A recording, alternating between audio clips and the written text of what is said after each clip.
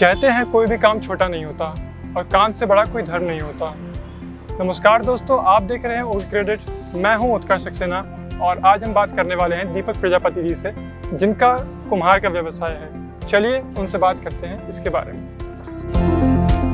इंसान जो भी बुज़ुर्ग होता है, आजकल इसी का घड़े का पानी पीता है कि मुझे ये ना हो जाए, मुझे वो ना हो जाए। लगा लेकिन अगर उसने शुरू से यही पानी पिया होता तो कभी कोई बीमारी नहीं लगती। ये चाइनीज़ माल दीपावली वगैरह वगैरह भी यूज़ करते हैं आप लोग। दिए करें।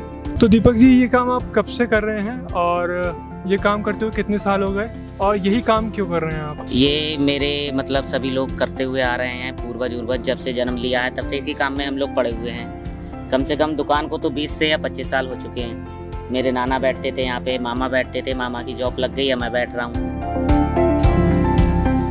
ऐसी क्या खासियत है आपके इस काम में कि इस काम को हर कोई नहीं कर सकता? ये काम आप नई उम्र से नहीं कर सकते। बचपन से जब तक करोगे तभी कर सकते हो। हर कोई नहीं कर सकता इस काम इंटरेस्ट चाहिए है बिल्कुल। और मेहनत अलग है इसमें। छोटा ही आदमी कर सकता है बड़ा आदमी कभी नहीं कर सकता इसे। जो लैपटॉप वुपटॉप चलाते हैं इनमें से कोई नहीं।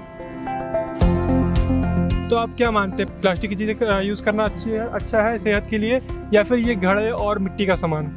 एक चीज़ वैसे मैं आपको बता दूँ कि मिट्टी तो हमेशा आपको पता ही है कि कितने फ़ायदे रहे हैं इसके। मिट्टी से आपको कोई नुकसान नहीं होगा। जब भी आप पियोगे हमेशा फ़ायदा ही देगा पानी।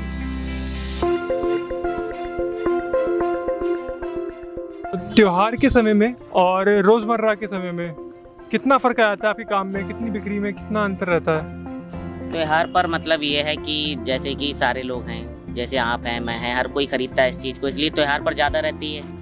और रोजाने में ये है कि किसी किसी को कभी ज़रूरत पड़ी दिया जलाना है कभी गमला लगाना है। हमारा दो तीन त्यौहार आते हैं दिवाली हो गया दशहरा हो गया और ये कई दो तीन त्यौहार हैं जो आते हैं। बाकी बस ऐसे ही नॉर्मल चलता है हमेशा। इस व्यवसाय को शुरू करने में हमें कितनी धनराशि का ज़रूरत पड़ सकती है? और आने वाले समय में ये कितना सक्षम है ये काम? हमें शुरू करने के लिए क्या है? सिर्फ़ मेहनत चाहिए। पैसे की ज़रूरत इसमें है नहीं ज़्यादा।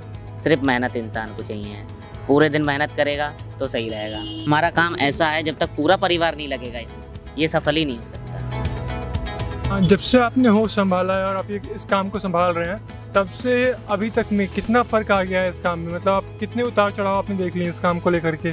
उतार चढ़ाव वाली तो वैसे कोई आज तक कोई दिक्कत नहीं आई। फ़िलहाल अभी तक तो जब से मैं पैदा हुआ हूँ जब से काफ़ी फ़र्क आया है। इस काम में ये है कि पहले थोड़ा ज़्यादा होता था अब कम है। यूज़ थोड़े थोड़ा कम है इसका। बस यही दिक्कत है। ऐसी कौन सी चीज़ है आपके काम में से जो कि कस्टमर को बहुत पसंद आती है और हमेशा डिमांड में रहती है? जी सिर्फ़ दो तीन चीज़ें हैं जैसे दिए हो गए घड़े हो गए या फिर जैसे चिड़ियों को पानी डालने वाली चीज़ें हो गई। ये हमेशा घर ग्राहक को पसंद भी आती है हमेशा फ़ायदे में रहती है उनके हमारे स्टॉक में भी रहती है और ज़्यादा डिमांडेड भी है। सबसे ज़्यादा डिमांडेड दिए हैं।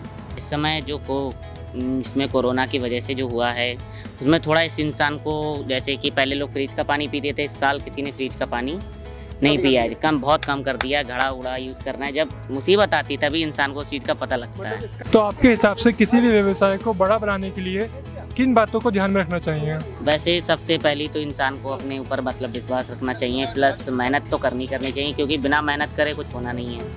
और सबसे मेन बात है विश्वास रखना चाहिए कि हमने ये काम करा है तो इसमें अभी नहीं तो आगे चल के हम सफल होंगे। सफल ज़रूर होंगे बस उस पर विश्वास और मेहनत लगन तीनों चीज़ें रखनी चाहिए। तो दीपक जी आप दर्शकों से और जनता से क्या अपील करना चाहेंगे अपने व्यवसाय को लेकर के? मैं सर यही अपील करना चाहूँगा कि जो ये माल है हमारा मिट्टी का है इसमें थोड़ी सी हमारी मदद करें जैसे कि हम ऊपर पहुँच पाएँ। ये चाइनीज़ माल दीपावली वगैरह वगैरह भी यूज़ करते हैं आप लोग। दिए करें। दियो में कोई नुकसान नहीं है हमेशा आपको फ़ायदा देगा बिल्कुल संस्कृति होगी हर एक चीज़ आएगी इसमें। वो आपका पूजा पाठ भी हो जाएगा बस यही है कि अगर आप लोग थोड़ा सा ध्यान देंगे तो हम भी कुछ कर सकेंगे इसमें।